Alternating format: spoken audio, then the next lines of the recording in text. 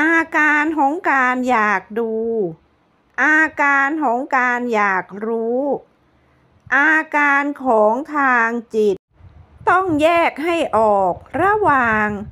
อาการของการอยากดู อาการของการอยากรู้ ถ้ารู้กันเป็นเมื่อไร นั่นแหละคือการปฏิบัติ ที่เรียกกันว่า สามารถหลุดพ้นจากความทุกข์กันได้ อาการอยากดู อยากรู้ของมนุษย์ เป็นอาการทางจิต มันเหมือนไฟฉายนะ ฉายไปตรงไหน ที่ใด มันก็ส่องให้ดูแค่ตรงนั้น เราก็เห็นกันแค่ตรงนั้น เราก็รู้กันแค่ตรงนั้น นั่นคืออาการทางจิตคำว่าอาการทางจิตหมายถึง จิตสั่งให้มีอาการ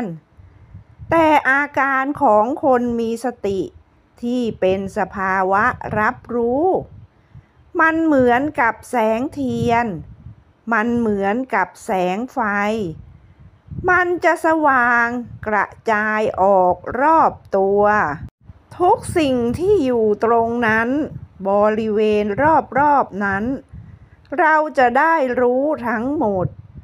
สภาวะของการรู้สึกตัวมีสติ จึงพร้อมตลอดเวลา ที่จะรับรู้กับทุกสิ่ง